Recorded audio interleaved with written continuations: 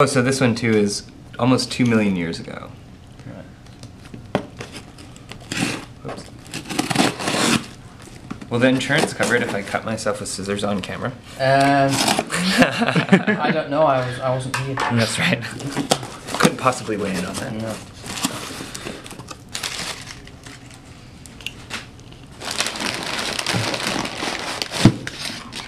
It'll be the number one YouTube video. That's right, yeah.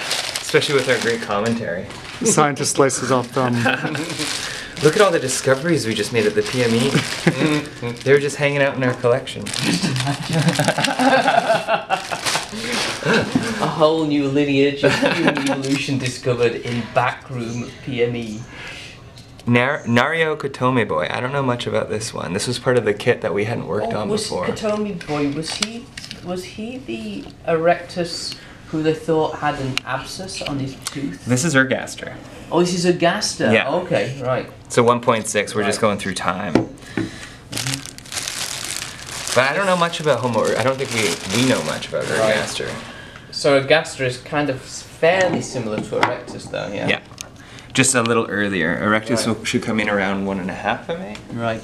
So is it Turkana boy was the? That's what it is. That was the one with the abscess. With the abscess. Yeah.